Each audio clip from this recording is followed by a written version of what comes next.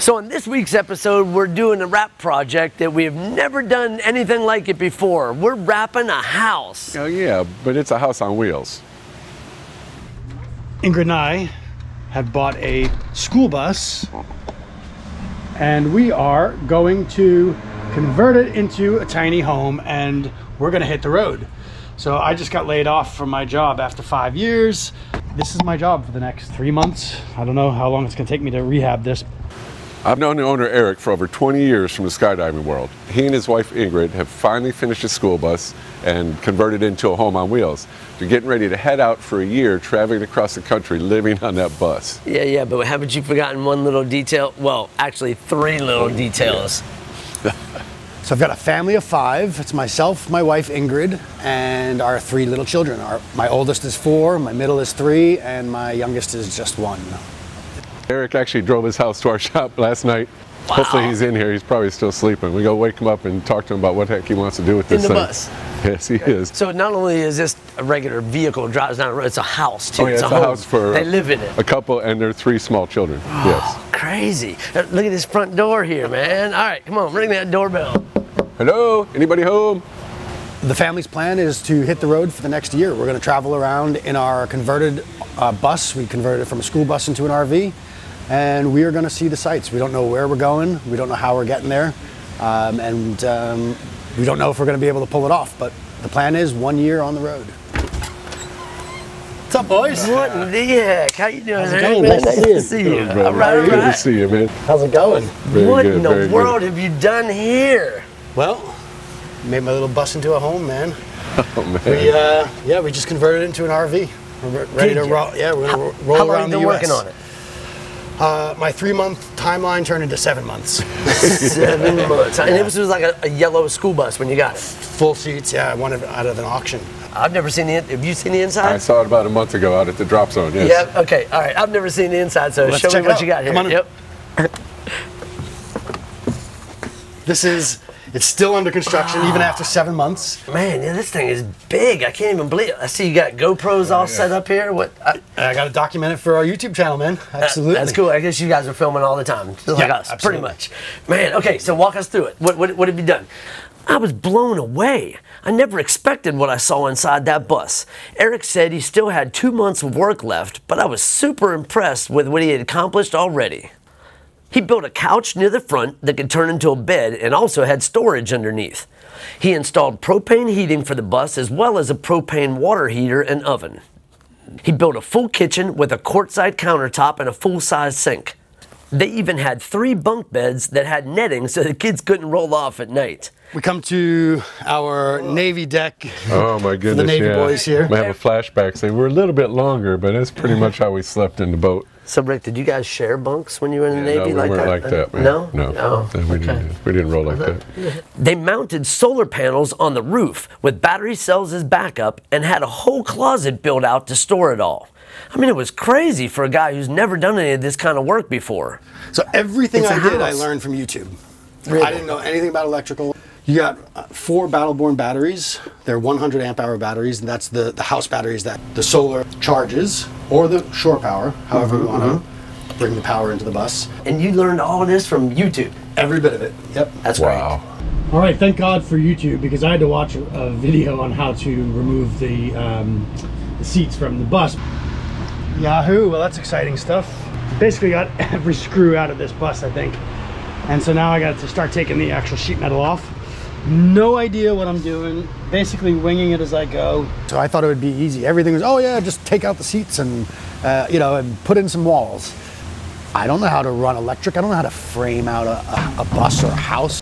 What's wrong with my measurements? So lots of countless hours on YouTube, you know, especially when it comes down to plumbing and electric, just watching a video. Okay, I think I understand it. Go to apply it, realize I have no idea what I'm doing. I have to rewatch the video 15, 20 times. Ah, it's just an idiot sometimes. So I need a check valve in between here. That becomes the challenge, right? We're we're doing a lot of things that we don't know. Plumbing's probably the least dangerous because if you have a, an issue, it really just gets messy, right? But electrical and propane, you know, there's consequences if you don't do it well. So we really were very mindful of that. We hired licensed professionals to come in and review our work before we closed up any electrical work behind the walls. For the propane, we had the leak testing done, making sure everything was put together and assembled correctly. All right, so here's the bathroom. Still uh, a work in progress, Okay, but okay. we've got our, our toilet here. And check out this little sink, man. It's like what you got in Oh, your wow. dentist office, right? Yeah. And, and you got water in here. Yep. So we've got a fresh water, 100 gallon fresh water tank that sits underneath our bed right What? here. So this Okay. is a, a couch that pulls Yep. out into a bed. So we got a French cleat here on the wall uh, that just Oh, slides out, drops drops in. Drops in. Uh, for the wife and I, and you're all the kids because they always want to They always climb want us to hang out too. But huh? yes, there's 100 gallon fresh water under here, and then 100 gallon gray water underneath the bus, mounted outside. How, how big was the house that you guys have in Tampa? It was a 1,500 square foot, so it was a good size, but um, down to 280. Yeah. 280 square feet. That's 280 square feet before we framed it out. Yeah, so that was uh, now it's probably So they come- 250, 200. It's crazy. What the hell? I just, this is killing me. It's my wife's Five five star star? review. Yeah, man, us. that's awesome. Wow, man, this is insane. I can't believe you turned this bus into a house. It's great. What kind of reaction do you get from people when you tell them you're traveling across the country with your wife and three little kids? Yeah, when they hear about the three kids, they Yeah. think you're crazy. That's what But- is. It's not the bus. It's not the traveling with your wife. They put them three kids in there. That's where it goes. Whole yeah, it becomes a different ballpark. whole different ballgame. It's Yep. a test for your marriage. If- for sure. Power comes in, goes through a. Eric showed us these cool solar panels on top of the bus, and then he went into more detail. It was then that we discovered another surprise. 12 volt or 110. And what's it power? powers all the lights, it powers my refrigerator, powers Plugs. Yep, all the outlets. Outlets, yep. whatnot. Okay. And Now, how I long would that noticed last? There was no TV in that, what you were listing out there. Yeah, so we left the TV off so, uh, intentionally, just because it's so easy to get caught up. Three in, kids on the road, no TV. I know, there's two of us in my house, we got six TVs. I'm just saying. I hear you, man. I hear you, and, and it makes sense. But you know, there's so many things to see, and if and if we had the TV, they won't watch. They won't Yeah. look at the sights. Right? I don't know. I know I use TV to keep my kids busy when I had stuff to do, so that's that's a major uh, handicap for them. I'm gonna make a gamble and say within a month they're gonna be stopping at Target. There's a They good bet putting, there. putting, you got at least a 32 inch up in there at least an somewhere, iPad man. You know. for them while, while we're driving. yeah, that's, That's that's, a fair bet. So when's the first leg of your adventure? You're just starting. This is brand new. You're just getting everything finished up. When are you starting? You said you're done Wednesday, right? You're taking it from here and heading we're out. out. We're out. Yep, heading up north. Wow. Uh, we're going to try and make our way up to, you know, the New England area, Maine, New Hampshire, Vermont by August. Got some family in New York. I want to see them. Some family in Mass. Nice. So yeah, and That's then great, after man. that, don't know where we're going. What an adventure. Yeah, that's that's awesome. crazy. We better get on it. We got three days to get this thing done. All right, we got you, man. Thanks, buddy. Appreciate it. Yeah. Going to be some particular challenges to this bus wrap project. Buses on their own are difficult to wrap. They have these corrugated sections. I believe these are here for safety in case something impacts the side of the bus. It's extra steel reinforcement to protect the people inside, but it makes it a pain in the butt to wrap.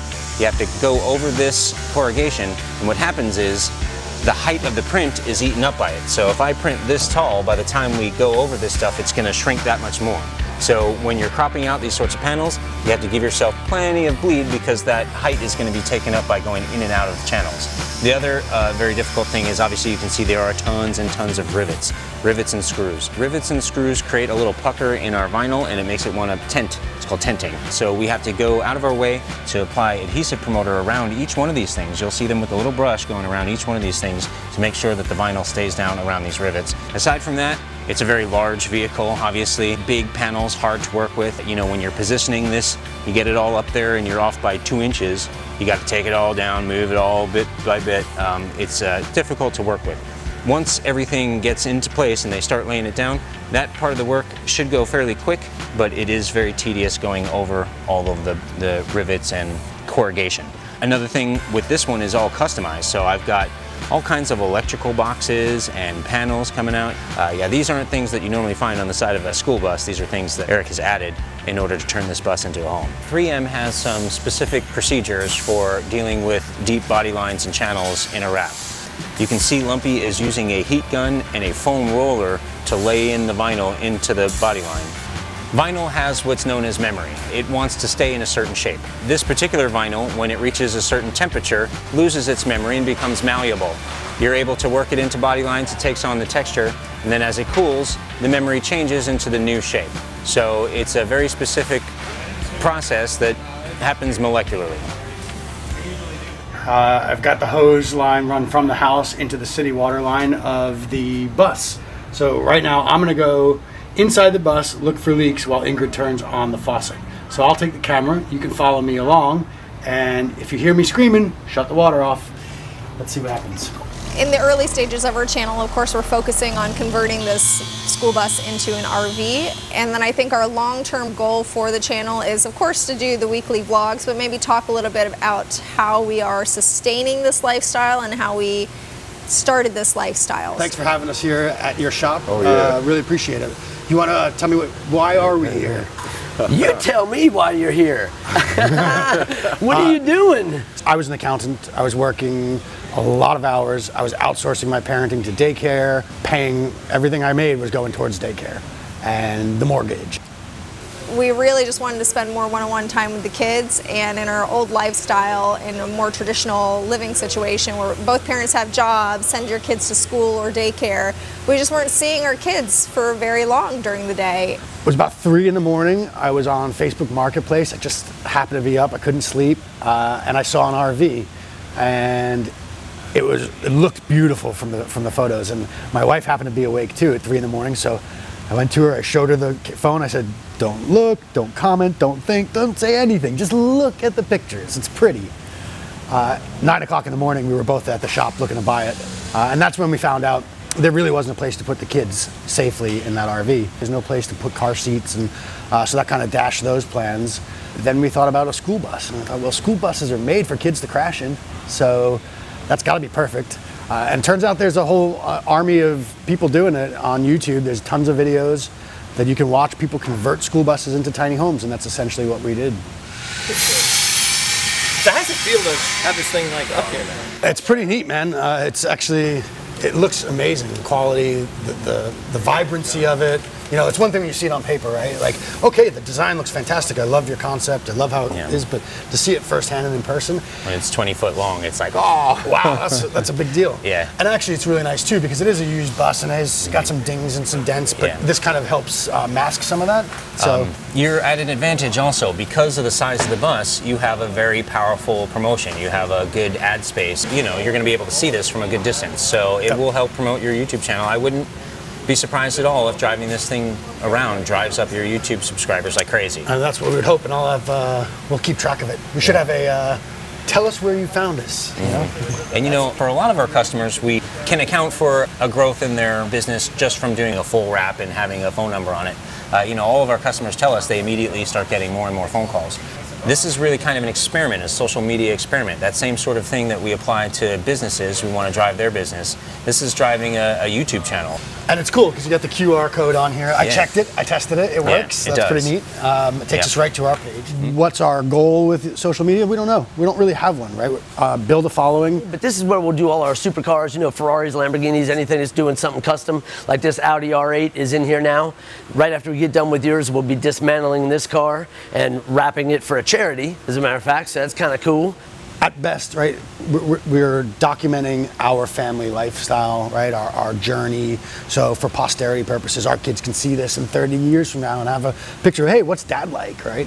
Uh, God willing, I'm still there, but But it is pretty cool that you guys are doing your YouTube channel. We're doing ours. We're filming our episode. You guys are filming an episode for your thing. So it's kind of like this cool little. And you guys are killing, Cross man. Like uh, just as far as quality of production. So I'm copying what you guys are doing now, just to steal some of the. Yeah, oh, yeah, definitely. I want to show you guys something because it's cool. On a vent, a lot of people will just clear the vent off. Pete actually took the time to make each individual cut on the top of each one of these and lay that piece in so that it looked as good as it could look. It's tight work, Pete. Really Thanks, nice. Pete. I would say Jason with Media One pretty much uh, took the design and ran with it. The kind of initial layout came from our YouTube cover page, but from there he had creative control as to what to do. Although we did request to add on the postcard the Dear Mom, we're gonna miss you. P.S. Tell the boss I quit, which I think is very adorable and probably our favorite thing on the bus. All right, guys, here we are three days after Eric brought the bus in here. Two days. Well, you get about Monday, Tuesday, didn't it's Wednesday. on now, Monday, so granted, he two only spent two days wrapping it. So I wanted go. to say Monday was just a prep day. Usually Yes. we do a big reveal, have the client come in and see it at the end, but Yeah, no, he's been sleeping in it while we're working on it, so he's seen it every day. So Yeah, so it's, It's not, not a that big big, of a reveal, but let's go see what he thinks about it. wake up. I think he's in there. There he is. Oh. And with the window again, man.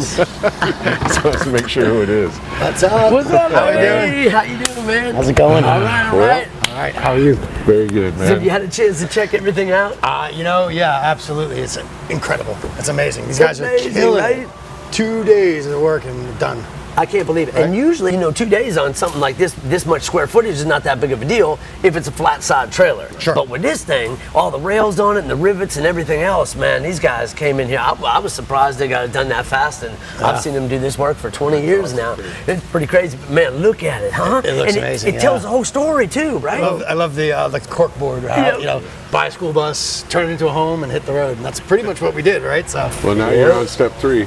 absolutely. Thanks so much for bringing it to us, man. Thanks for uh, helping out with it. It Yeah, amazing. it was man. our pleasure. Really, our Make sure you keep in touch on the road. We'll be Yeah, following buddy, your for sure. my Yeah, good friend. luck. Absolutely, we'll both be following each other. Yes, sir.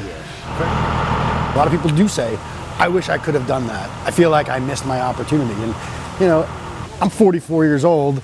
Uh, we've got three little kids. The opportunity's not gone. You can do it. And I think people are excited to see somebody actually taking charge of their life. These kids are growing up every day and they've got these cool little attitudes and personalities and now we get to experience that with them rather than you know hearing about how their day was at school. We get to see them develop those skills and it's just it's really it's a blessing. We're we're really lucky. The, the title of our, our YouTube is Destination Unknown, A Life by Design. They don't think we're going to necessarily live in a school bus forever, but we're to go figure out, travel the country, see where we want to be, if we want to settle, and if we want to continue to travel, we will. So we've got a, little, a huge amount of freedom right now, so absolutely it's to be life changing.